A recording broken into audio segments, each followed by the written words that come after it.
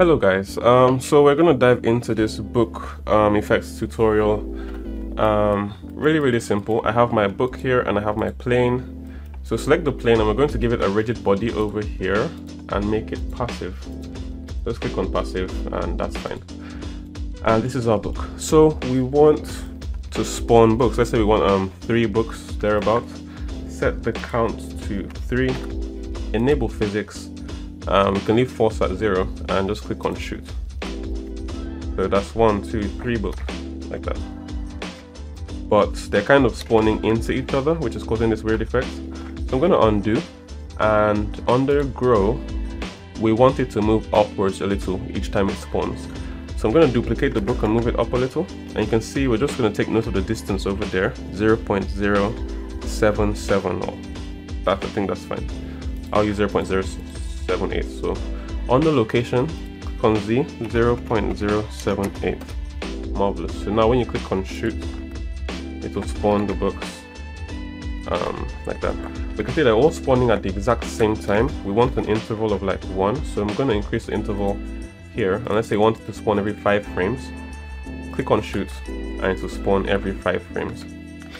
So I'm just going to set this to one.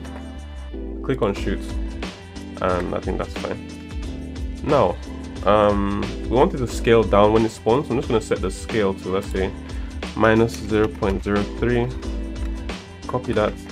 You can come here, paste it, come here, paste it.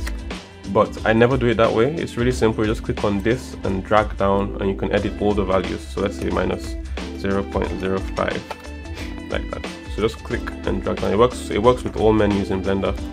So you can adjust scales and rotations so won't be the same thing. Um, so now with this scaling down, let's see how that looks. Click on shoot. You can see they're all scaled down a little. I'm going to undo and in render view, we can enable lights. I mean, if I shoot right now, they'll all shoot normally. But if you enable light and yeah, if you enable light and shoot, then they'll all spawn with this light effect each new book. Okay. So another thing is if you want multiple books, like you want multiple spawn groups, like um, you want one, two, three, then one, two, three, four, then one, two, three, four, five, that kind of thing. What you would ideally do is separate the books first, the ones you want to spawn separately, just move them aside, and start by shooting the first guy. So we have our one, two, three. That's good one two three. So this next guy wanted to spawn from make sure it's um, higher than this guy's let's say his highest point so around here. Make sure it's higher than that so that it doesn't spawn underneath it. So let's move this guy down a little scale him down and um, we can add rotation to it as well if you want. So I'm just rotate it by like five. And I'll make this one not scale down so I'll set this one to zero. It's just going to uh, rotate and wherever you are on the timeline when you click on shoot at that point um, that's where the shooting will start from. So I'll say 1 2 3 4 5 so make the count 5 and click on shoot. I think okay we need to adjust the location because the distance is no longer as big as the first guy. So duplicate him and move him up. And you can see the distance over there 0.03 thereabout. So I'll change this to 0.03 and shoot so now we have 1, 2, 3, 1, 2, 3, 4, 5. And we can now have this other group will now come in around here. Um, let's make sure it's, it's lower than this guy. So you can see this guy starts from around here. So we'll need to do it higher than this point. So I'll move this guy up a little bit. I'll show you what happens it from around here for now. So i'm going to adjust it so that you don't have to worry about these new heights anymore. Um, but this is what it's like. If you shoot from this height you can see the other books kind of collide with it and it gets stuck because it's underneath um, the book. So what you want to do instead is just make sure it's higher than this guy's highest point. So let's move it around here.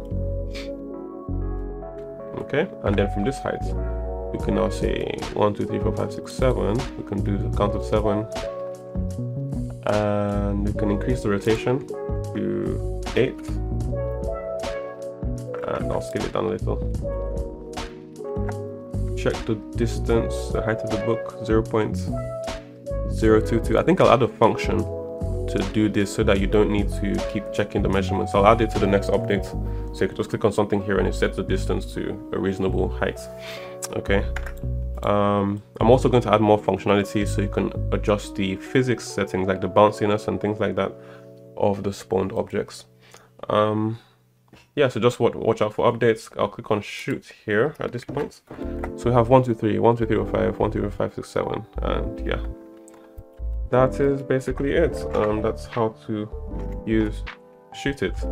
Um, I'll do another tutorial next, which will be another um, use case and you can adjust you know global physics settings from here like the steps so it solves a bit better so I'll increase it to 30 uh, 1 to 3 so you can see it's much more stable as I've increased the steps over here um, you can also adjust the speed 0.5 so you can see it's slower and you can triple it if you want. So yeah that's basically it. Have fun